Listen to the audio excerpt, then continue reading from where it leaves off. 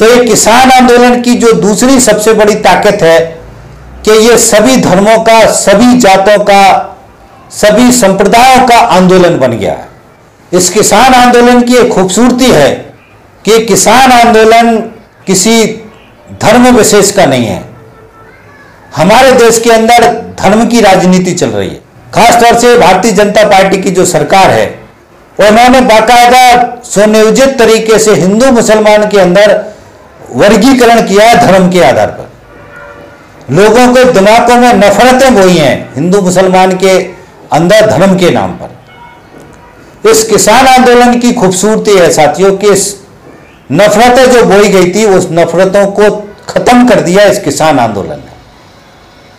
आज ये किसान आंदोलन हिंदू मुस्लिम सिख ईसाई आपस में हैं भाई भाई ये नारा लगा करके, सामूहिक एकता का नारा लगा करके जो हमारे देश देश की धर्मनिरपेक्षता का मूल भाव है, जो हमारे संविधान का मूल भावना है, धर्मनिरपेक्षता, इसको लागू किया है इस किसान आंदोलन ने। तो ये साथियों, इस किसान आंदोलन की सबसे बड़ी सकारात्मक पहल है। आप किसी भी बॉर्डर पर चले जाइए वहाँ आपको किसी जाति के नाम पे, धर्म के नाम पे कोई भेदभाव नहीं मिलेगा। तो इस किसान आंदोलन की सबसे बड़ी ताकत है सामूहिकता और धर्मनिरपेक्षता। इस किसान आंदोलन ने देश की जो संविधान की मूल भावना है, उस मूल भावना को जोड़ दिया है।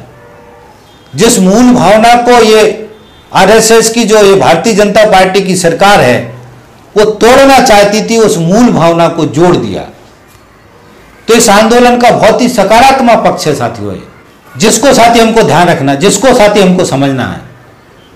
अभी मैं आपको बताऊँ, हरियाणा के अंदर जितने अगड़ी और पिछड़ी जातियों के आंदोलन हुए, जो नफरतें बोई गई थी। जातियों के अंदर भी जो झगड़े चले थे, जातियों के अंदर भी जो आपस में हमले हुए थे, उस हमले का जो जो घाव था, उस घाव को भरा है किसान आंदोलन ने।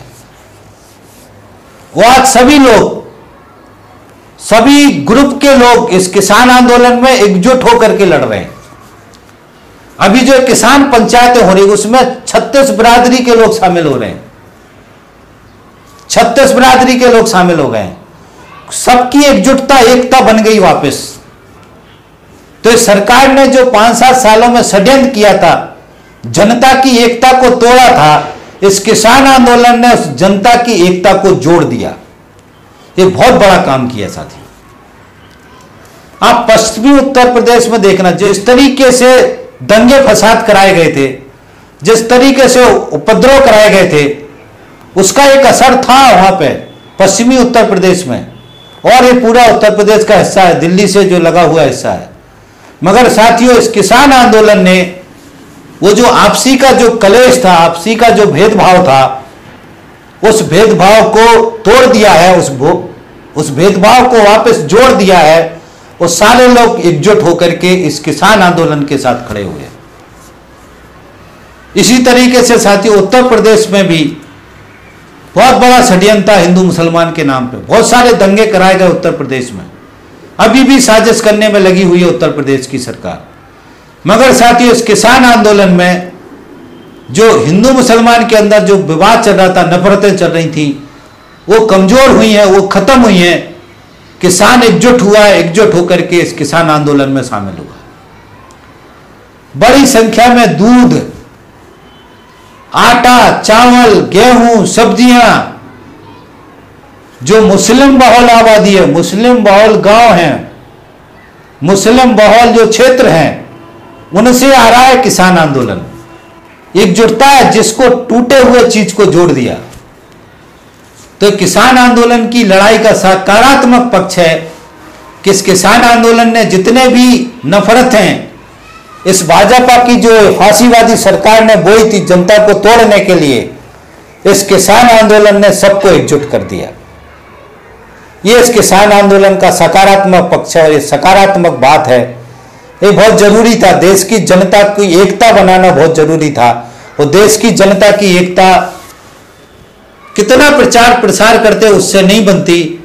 इस किसान आंदोलन ने पूरे देश की जनता की एकता को बना दिया। तो बहुत ही सकारात्मक पक्ष है साथी, जिसको हमको ध्यान रखने की ज़रूरत है। एक और सब बात साथियों, बात समझनी है। किस तरीके से जाति धर्म के कॉन्सेप्ट को तोड़ा इस किसान आंदोलन ने? मैं आपको एक उदाहरण से समझाना चाहता हूँ। हरियाणा के आजू बाजू के गाँव से दूध कलेक्शन होता है। सामान का कलेक्शन होता है, आटे का कलेक्शन होता है।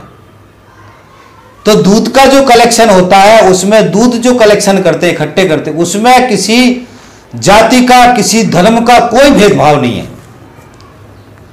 इस किसान आंदोलन के लिए किसी भी जाति का, किसी भी धर्म का आदमी, उस जो दूध का ड्रम है, उसमें अपना दूध डाल के आता है। छत्तीस बिरादरी का दूध है वो। छत्तीस बरादरी की एकता का दूध है, दूध जो बढ़ता है। आटा जो वहाँ पे आता है, छत्तीस बरादरी का मिलके आता है एकजुट होकर के। और छत्तीस बरादरी में बढ़ता है। कितना बड़ा काम किया है कभी पॉसिबल है ये? एकजुटता कभी होना संभव है? क्या नॉर्मली कभी एक गाँव के अंदर छत्तीस बरादरी का खाना इकट्ठे बैठ के खा सकते हैं? नहीं खा सकते। साथियों, समाज में इस कुरीतियों ने और खासतौर से जो ये पूंजीवादी व्यवस्था की नीतियाँ, जो खासतौर से जो आरएसएस का जो ये रूढ़ीवादी जो विचार है, जो मनुस्मृति की जो पूरी रूढ़ीवादी संस्कृति है, उसके आधार पे आप दलितों का, पिछड़ों का दूध नहीं पी सकते, खाना नहीं ले सकते, उनने छू दिया तो फेंकना है। कितनी सारी विकृतियाँ थी और कितनी सारी विकृतियाँ हैं। मगर साथियों, इस किसान आंदोलन में हम देखते हैं, इन सारी विकृतियों को इस किसान आंदोलन ने तोड़ दिया।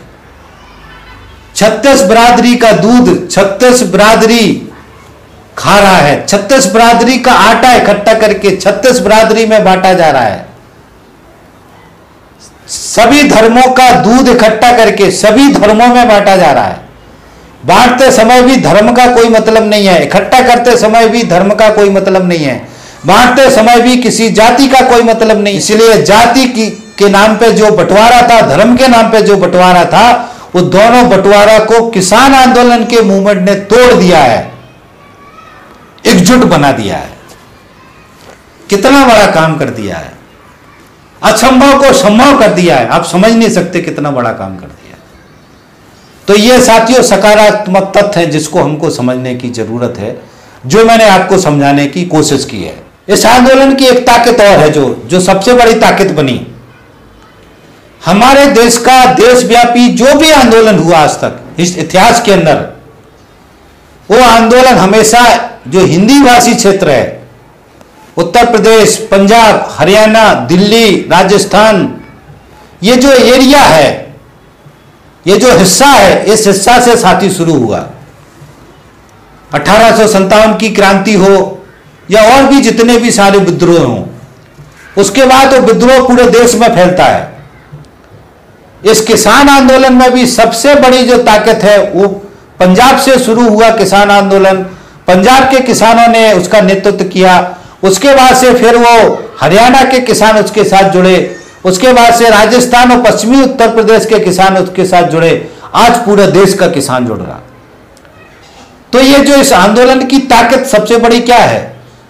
शीर्ष नेतृत्व में जो शीर्ष विचार है, समझ है, वो पंजाब के किसानों के का है। हरियाणा के किसान उसके साथ जुड़े हुए हैं। और पश्चिमी उत्तर प्रदेश के लोग जुड़े हुए हैं। राजस्थान का जो क्षेत्र हरियाणा से लगा वो जुड़ा हुआ है। और ये पूरे क्षेत्र के बारे में एक कहावत है साथियों, जिसको समझना है। बहुत सारे लोग नहीं जानते होंगे, हमको कई लोगों ने वहाँ बताया है। ये जो क्षेत्र है क्षेत्र के बेल्ट के लोग बड़े मुश्किल में किसी मुद्दे के लिए तैयार होते। आंदोलन के लिए तो बड़े मुश्किल में तैयार होते। और बड़े मुश्किल से खड़े होते हैं।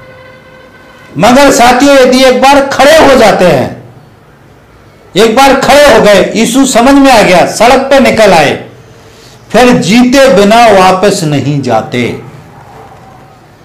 जब तक वो आंदोलन जीत नहीं लेंगे, तब तक वो वापस नहीं जाएँगे, ये बिल्कुल सुनिश्चित है। और ये इस आंदोलन की एक ताकत है। और ये आंदोलन को जो ये ताकत है, ये ताकत फैलाने का इसका, इस ताकत के अंदर इतनी ताकत है कि इस आंदोलन को देश में फैलाने का ताकत है इनके पास। पूरा दुनिया के अंदर आंदोलन को फैलाने का ताकत है इस पूरे एरिया के बाद, ये भूखंड के उपास।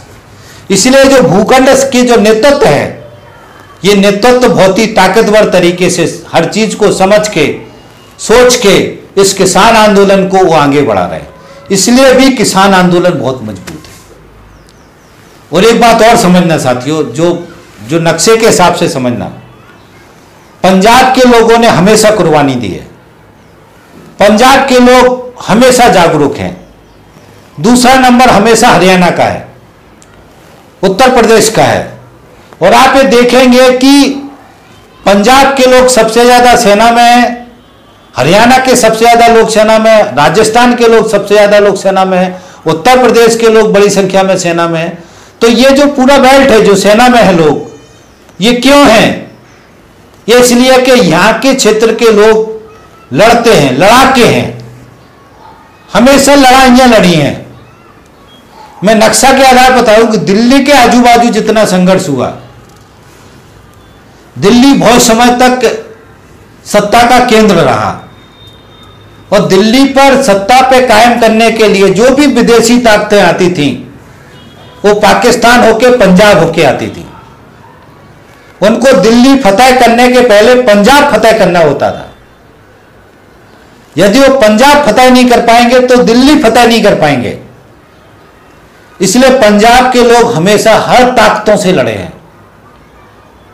चाहे इस्लामिक संगठन आए मुगल आए उसके पहले भी जितने भी विदेशी ताकतें आई, जो भी ताकतवर, जो भी उस तरफ़ से आया है, उसको झेला है पंजाब ने। इसलिए पंजाब ने हमेशा से बहुत कुर्बानी दी है। हमेशा जाने दी हैं वहाँ पे। हमेशा लड़े हैं, हमेशा भिड़े हैं।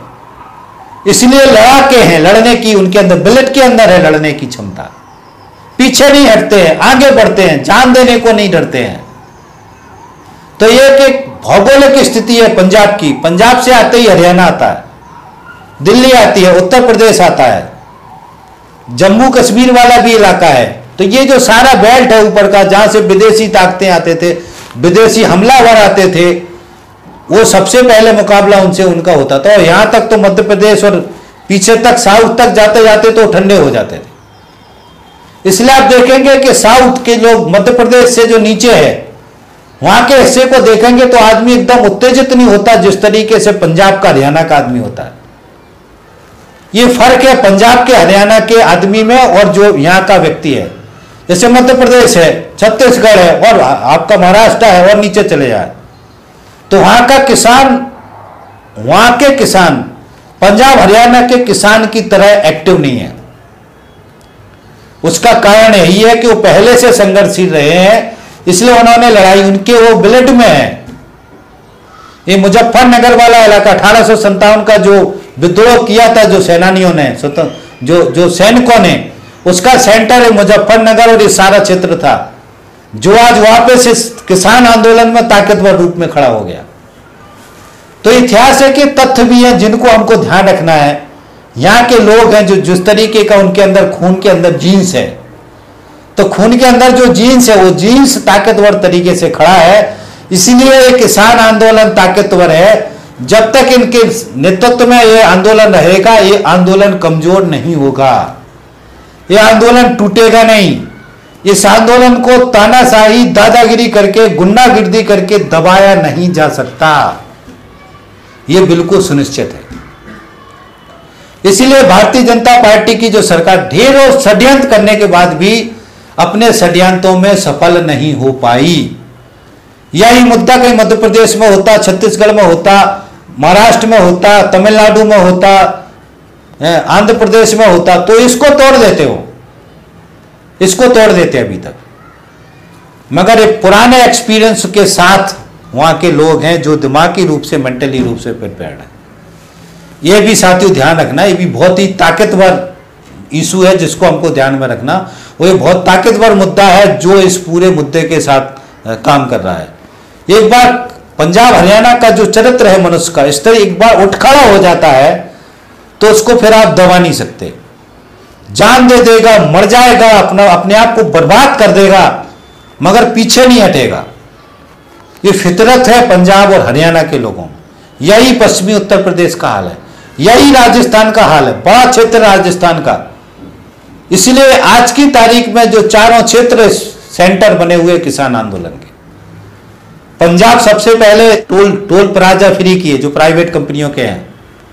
हरियाणा में पूरा फ्री हो गया, अब राजस्थान में पूरा फ्री हो रहा। एक समय के बाद देखना राजस्थान का पूरा टोल प्लाजा फ्री हो जाएगा। उत्तर प्रदेश का टोल प्लाजा फ्री होना शुरू होगा उत्तर प्रदेश बड़ा है। उत्तर प्रदेश में भी ये आग धीरे धीरे करके फैलेगी, पक्का है, सुनिश्चित है। तो ये साथियों, ये भी एक ताकत है इस किसान आंदोलन की, जिस ताकत पर एक किसान आंदोलन डटा हुआ है। तो ये सारी चीज़ें भी हमको ध्यान रखने की ज़रूरत है। उन सभी लोगों को सल्यूट करने की ज़रूरत है, जो इस किसान आंदोलन के नेतृत्व में खड़े हुए हैं और किसान, किसानों का आंदोलन का नेतृत्व कर रहे हैं। दिमागी रूप से, नीतिगत रूप से, समझ के साथ, सामूहिक एकता बना करके इस आंदोलन में लड़ रहे हैं।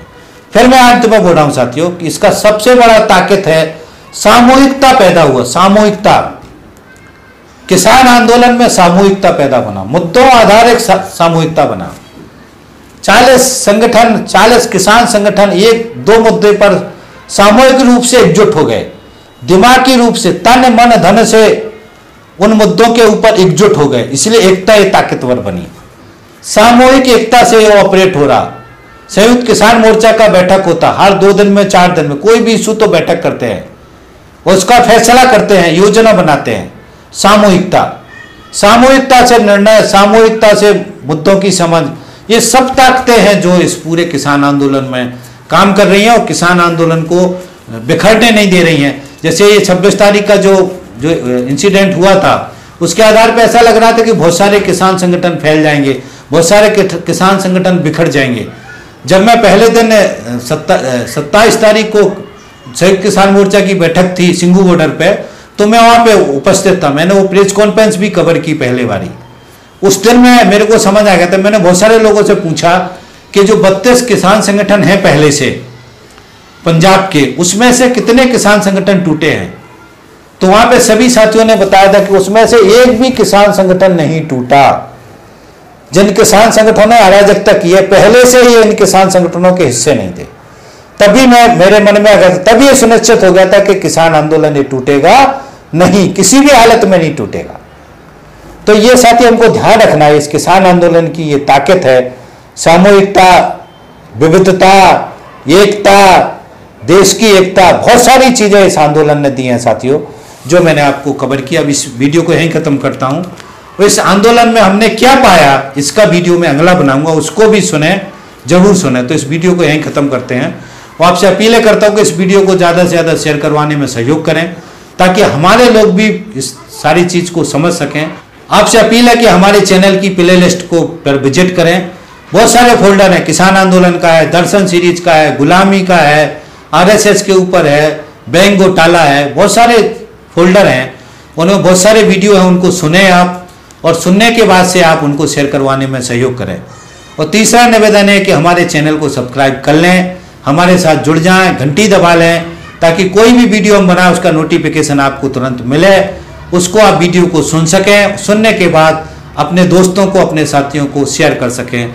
तो इसी आशा, उम्मीद के साथ कि आप सहयोग करेंगे। मैं अपनी बात खत्म करता हूँ। थैंक यू साथी, धन्यवाद। थैंक्स